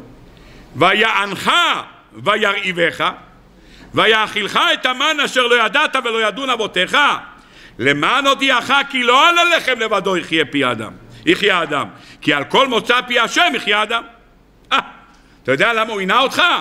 ויענך ויריבך להודיע לך כי לא על הלחם לבדו יחיה אדם אלא מה? כי על כל מוצא פי השם יחיה אדם והתורה ממשיכה ומדברת איתנו. תדע לך כי השם אלוקיך מביאך אל ארץ טובה ארץ נחלי מים עיינות ותאומות. יוצאים בבקעה ובהר. ארץ חיטה ושעורה וגפן ותאנה ורימון. ארץ זה שמן ודבש. רבותיי איפה זה הנערות האלה? איפה זה? אני מקריא לכם את הפסוק כי השם אלוקיך מביאך אל ארץ טובה ארץ נחלי מים עיינות ותאומות איפה יש לנו פה ארץ נחלי מים? עיינות ותאומות יוצאים בבקעה ובהר. איפה זה? אתם יכולים לתת לי את הכתובת? איפה זה נמצא? בבניאס יש uh, בערך מטר זרימה של מים כולם עומדים לעשות תמונות מרחוק יש להם בניאס. בניאס יש בכל חצר בשוויץ. כל חצר בשוויץ יש להם בניאס. מה? תחליף את המים האלה, תביא אותם פה, תיתן לשוויצרים, תיתן להם את הבניאס. מה אתה, ארץ נחלי מים? התשובה היא, כתבו במפרשים, המפרשים כבר שאלו את השאלה הזאת. כשיצאנו לגלות, יצא גם היופי של ארץ ישראל, יצא עם עם ישראל לגלות. כשיצאנו לגלות, בחורבן בית שני, יצא ארץ נחלי מים, מעיינות ותאומות. אתה רוצה לראות איפה זה? זה בשוויץ, זה באוסטרליה. כשבא המשיח בעזרת השם, אוטוטוט, הכל חוזר לפה, הבניאס הולך אליהם. שם יהיה כאן ארץ נחלי מים בעזרת השם. כל חצר פה, כל פינת רחוב יהיה מזרקה. בעזרת השם ישפריץ מים ממים ישירות מתוך עומק האדמה, מים טבעיים מי עדן, יהיה מה שנקרא מי ברז לעומת המים שיוצא. זה יוצא מלמטה קר ביחד עם לימון ליים, מהמקור. בעזרת השם רק יבוא משיח, תראו מה הולך להיות פה. אומר הפסוק, תדע לך, הארץ הזאת הארץ טובה, אבל ויענך ויריבך ויאכלך את המן. תדע לך, הקדוש ברוך הוא עשה לנו עינויים. למה? ללמד אותך ארץ אשר לא במסכנות, בדלות ובעוניות תאכל בלחם. לא תחסר כל בה, ארץ אשר אבניה ברזל מראה תחטוף נחושת. ואכלת ושבעת וברכת את השם אלוקיך על הארץ הטובה אשר נתן לך. רבותיי, מה כל ההקדמות האלה? התורה מקדימה שהארץ הזאת נחל למים, עיינות ותאומות, וחוץ מזה תדע לך, וירנך ויריבך ויאכילך את המן, מה כל הסיפורים האלה, עינויים, לפני שהקדוש ברוך הוא נותן לנו לחם ומצווה אותנו ואכלת ושבעת וברכת. כדי להבין את הדברים רבותיי, בואו ננסה להבין דבר ראשון, מה זה ויענך ויריבך ויאכילך את המן. רבותיי, אחידו אומר תשובה פשוטה מאוד, על פי מדרש שמופיע בפרשת השבוע, על הפסוק ויענך ויריבך ויאכילך את המן, מובא במדרש, מדרש פליאה, מכאן שמדליקים נרות בערב שבת. מה הקשר בין ויענך ויריבך ויאכילך את המן לבין הדלקת נרות בערב שבת? כיוון שבדרך כלל האדם מאוד נהנה מהמראה של האוכל. כשאדם רואה אוכל הוא נהנה. רבותיי, תראו כמה, כמה כסף וזמן משקיעים על צורת האוכל, עיצוב, שולחים לך סלסלת פירות בין פורת יוסף, תראה איזה זיגזגים עושים מסביב לתפוז, עושים אותו ככה בצורה של כוכבים, והמילונים בצורה של חצי ירח, ושמים לך כל מיני ליצ'י ומיצ'י, כל מיני דברים יפים, עושים לך עיצובים, מה בין כה הכל נכנס, מה זה משנה איזה צורה זה כאן? אומר, לא, אבל זה מגיע ככה עם שלוש קומות, וזה נראה ממש חיילים במסדר, משהו מיוחד, זה מסודר, ויפה מאוד בין פורת, כמה משקיעים במנות אחרונות מה שנקרא, אני לא יודע בדיוק איך קוראים לזה בכל המנות האחרונות האלה, עם כל מיני צורות של שוקולדים בצורה כזאת וכולה כזאת, הכל לייפות את זה. העין, לפעמים אתה לא אוכל את זה, אבל מהיופי אתה נהיה שבע. אה, אתה מקבל כזה משלוח מנות, לא משנה שאין כלום מלמטה. הכל מלא קש, אבל מלמעלה אתה רואה משהו, מהנפח אתה מתלהב, אתה מרומם אותך. נכון? זה הצורה כבר שאמר יעקב אבינו, ורווח תשימו בין עדר ובין עדר, אומר רש"י בשביל מה? לסמא את עיניו של אותו רשע. הוא לא מסתכל מה שיהיה, הוא מסתכל על הנפח, שלחת לו משלוח מנות, מלמטה הכל קוץ ודרדר תצמיח למטה יש לך איזה בקבוק יין ואתה מתנפח מה, מהסלסלה. זה העניין של העין, להשביע את עיניו של אותו רשע. ולכן אומר החידה, יש בעיה, מה הבעיה? שבאותו רגע שאדם לא רואה את האוכל, אז הוא לא שבע. באותו רגע שהוא רואה, עצם זה שהוא רואה את האוכל, זה משביע לו, זה משביע אותו. אם ככה אומר החידה, זה מה שכתוב, ויענך ויריבך ויאכילך את המן, למה? למה? כיוון שאת המן לא יכלת לראות אותם, לא ראית אבטיח, מה ראית? ראית מן ואמרת יהי רצון שזה יהיה אבטיח אז קיבלת טעם של אבטיח אבל זה לא אבטיח זכרנו את הדקה ואת הקישואים אשר נאכל ואת אבטיחים אשר תביא אבטיח אל תביא לי כזה לבן ותגיד לי זה בטעם אבטיח לא רוצה חצילים בטעם כבד תן לי כבד ותן לי חצילים אל תביא לי בטעמים תן לי כל דבר בנפרד, הוא מביא לי חצילים בטעם כבד. תן לי כבד וחצילים, כל אחד בטעמו שלו. מה אתה מביא לי טעמים? היות ואתה לא רואה את זה מול העיניים, חסר לך בשביעה. אומר החידה, זה ויענך ויריבך ויאכילך את המן. מה ויענך? כי לא יכלו לראות את זה. אם לא ראו את זה, לכן הם אמרו, זכרנו את הדגה ואת הקישואים, זה ראינו מול העיניים שלנו, זה רק מן בטעם. כך כותב החידה. בספר מקח טוב הוא כותב שאדם לא לומד להודות לקדוש ברוך הוא רק אחרי שחסר לו. אדם שמהכל יש לו, הוא לא מודה לקדוש ברוך הוא. מתי אדם מודה? כשאין לו. כשאין לו והוא מקבל, הוא אומר, יבוך השם, תודה רבה. רבותיי, מתי פעם אחת קמתם בבוקר ואמרתם, ריבונו של עולם, תודה רבה שיש לי 31, 32 שיניים. אמרתם פעם כזה ברכה? אין? ברוך אתה השם אלוקינו מהחולם, זוקף כפופים, ברוך אתה השם רוקה. אמרתם פעם תודה רבה על השיניים? לא. למה אתם לא אומרים תודה רבה על השיניים? כי חז"ל לא תקנו נוסח כזה. אז אין ברכה. מתי אתה אומר תודה רבה על השיניים? כשאתה קם באמצע הלילה וכואב לך השן בן פורת יוסף וכבר גמרת את כל הנורופן שיש בסביבה, ברוך השם, ושתית את כל הערק שהיה באזור, ועם כל זה אתה בקושי קצת מסטול, אז נרדמת קצת. אתה קם בבוקר, אתה אומר, מנוסם, רק אחד מתוך שלושים ושתיים, כמה אתה אוהב אותי בן פורת יוסף, נכון? אבל אם לא כואב לך שום דבר, אתה אומר זוקף כפופים, אתה אומר את זה חלק מסדר של חמש עשרה ברכות. תגיד בבוקר, אמרת זוקף כפופים? אם התחלתי בנותן בספרי בינה, ואני זוכר, הגומל לך חיים טובים לעמו ישראל, אז כנראה דחפתי גם את זה בפנים. אני מתאר לעצמי שלא עצרתי באמצע, כנראה אם לא קיבלתי טלפון, אז הכנסתי את כל החמש עשרה בפנים. מתי אתה עוצר בזוקף כפופים? כשאתה קם באמצע הלילה ואתה רוצה לרדת מהמיטה ואתה לא יכול לזוז עד שבא מישהו ומחלץ אותך מהמיטה איי ברוך אתה השם אלוהיכנו מלך אוי לו כאן אתה זועק כפופים רוי כארץ על המים אה, אתה קם בבוקר ועין אחת, אתה לא יכול לפתוח אותך כי נהייתה לך שם שעורה, אתה לא יכול לפתוח את העין, אתה אומר, אה, בבוקר אתה כבר אומר, פוקח עבריים, אה, ברוך השם זה נפתח, ברוך השם זה עובד, ברוך השם. מתי אדם לומד להודות? כשחסר לו. מתי למדנו ואכלת ושבעת וברכת את השם אלוקיך? כשהיה ויענך ויריבך. כשהיה ויענך ויריבך עכשיו בא ואכלת ושבעת. בא הראש על התורה, בא דסקנים על התורה ואומר, אתה יודע איפה היה ויענכו ויריבכו? רבותיי, לעם ישראל לא היה אוכל, לא היה מזווה, לא היה מקפיא בחצר, במרפסת. עם ישראל קיבל כל יומן. אמר רבי שמעון בר יוחאי, גמרא במסכת יומא. הקדוש ברוך הוא לא נתן מן ליומיים, מי שהשאיר מן למחרת, וירום תולעים ויבש. אין אוכל. נו, אדם הולך לישון, ברוך השם, מישהו הלך לכאן לישון הערב, יש לו בעיה אם מחר אין אספקה של חלב? אם מחר אין אספקה של לחם, יש לו בעיה? ברוך השם, כל מקפיא בארץ ישראל מלא, ברוך השם, בלחם, בלחמניות, בלחם מהמבצע הקודם או מהמבצע לפני קודם שנטחן אחרי פסח משנה שעברה עוד וכל אחד מלא בלחמים ברוך השם, מבצע עשר בחמש עשרה, חמש עשרה בעשר, ברוך השם קונים והכל נכנס למקפיא ויש חלב קפוא ותרנגולות קפואים והכל יש לך ברוך השם קפוא ושמונה עשרה קופסאות של תירס ואפונה וגזר ומלפון חמוץ ומה שאתם רוצים ברוך השם גם אם פרצה מלחמה ואין חשמל, לא מלחמה מהאויבים, מחברת חשמל שום דבר, אין אוכל. אם אין אוכל, ברוך השם, שבוע, שבועיים, כל אחד, ברוך השם, יכול להסתדר בשפע. בשפע, כל אחד יש חמש קילו אורז, ברוך השם, שהוא מכר אותו במכירת חמץ, לכולי עלמא למאן דאמר שאורז, נו, ברוך השם, הכל יש לו בשפע. אז הוא הולך לישון רגוע, גם אם ככה, חס וחלילה, מחר נתקע המעלית, אתה לא יכול לצאת מהבית, הרב בריח יצא לו הלשון ואתה לא יכול לצאת החוצה? לא קרה שום דבר, יש אוכל, ברוך השם, גם אם לא יחלצו אותך ביומיים הקרובים, גם אם זה קרה באלף דראש השנה, וראש השנה חל ביום חמישי, ואתה סגור חמישי, שישי, שבת, עד ראשון צום גדליה אתה בבית, יש אוכל. במדבר זה לא היה רבותיי, במדבר אין אוכל, הולך לישון בלילה, נדה, יתרת אפס, אתה רוצה בלילה לאכול משהו, אין אוכל, אין, אין שום דבר. למה? כל לילה אדם הולך לישון, ומה יהיה אם יש תקלה מחר לא יורד מן?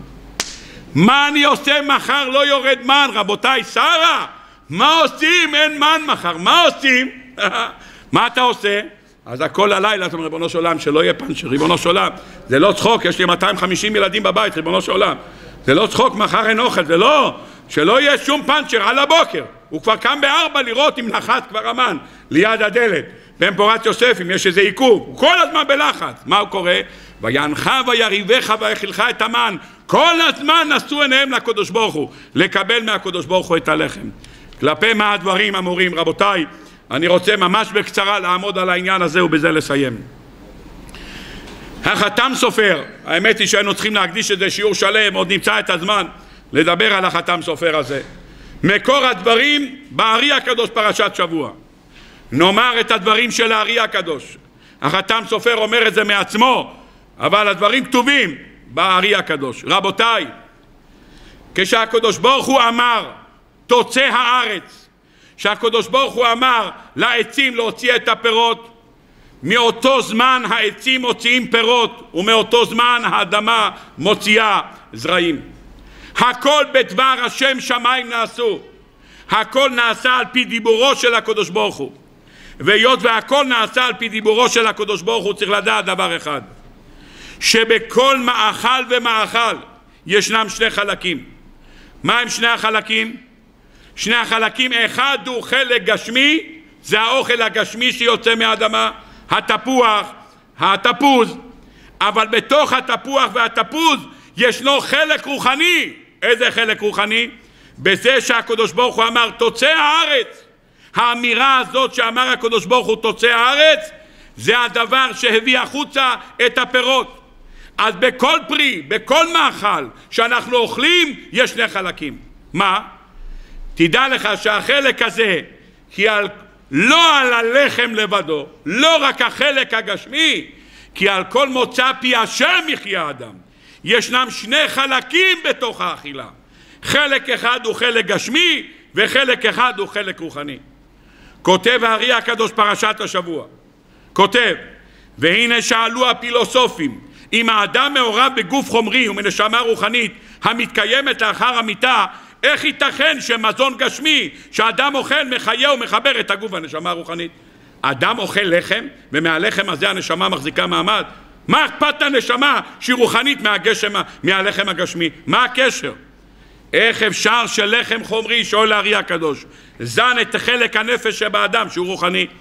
ואם אין האדם אוכל לחם ואינו אוכל מזון כמה ימים, ימות ותצא נשמתו ממנו. ואם יאכל לחם יחיה. ואיך אפשר שהלחם יעמיד את הנשמה הרוחנית? ומן ההכרח כותב הארי הקדוש קושייה הזאת אמרו הפילוסופים שאין הישארות לנפש. וכמות זה כן מות זה. ובמות האדם יופסד חלק מגופו כך שיופסד גם חלק מנשמתו וכיוון שהיא ניזונת מדבר חומרי גם רי חומרית. אומר הארי הקדוש אבל זה לא ככה. אין זה נכון כלל וכלל. דין האמת כן חס וחלילה. כי לא ידעו מה שביארנו שיש חיות אל המזון שהוא חלק רוחני שבו להחיות חלק רוחני של חיות האדם. בכל אוכל יש חלק גשמי וחלק רוחני. כותב בעל התניא לעולם השם דברך ניצב בשמיים עוד מעט מגיע ראש השונה אומרים את זה בתשליך שבע פעמים. אומר לנו הבעל התניא פירש הבעל שם טוב לעולם השם דברך ניצב בשמיים דברך שאמרת יהי רקיע. מילים ואותיות אלו הם הניצבות ועומדות לעולם להחיותם. כדכתיב ודבר אלוקינו יקום לעולם. ואילו היו האותיות מסתלקות כרגע חס וחלילה וחוזרות למקומם היו כל השמיים עין ואפס וכל הברואים שנבראו מעשרה מאמרות אם היה מתבטל רגע היה חוזר העולם לתוהו ובוהו. נחזור לארי הקדוש וזהו שכתב ויאכילך את המן הרוחני להודיעך כי לעולם אין מי שיזון את האדם אלא החלק הרוחני שבו.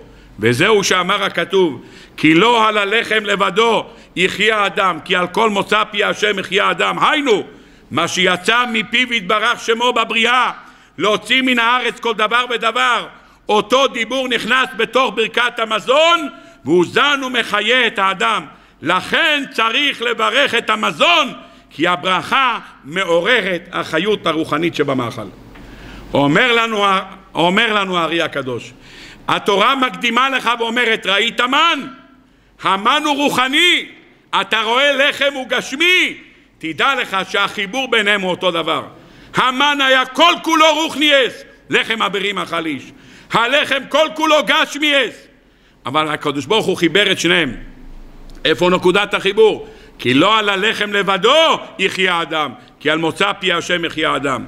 כותב לנו אחידו, כותב לנו הארי הקדוש, וזה לא הבינו הפילוסופים, כי המזון הגשמי הוא רק לבוש למזון הרוחני, שמתלבש בתוכו, והמזון הרוחני הוא מאמר השם שיצא מפי בשעת הבריאה, שתוציא הארץ כל מיני מאכל פירות ותבואת הארץ.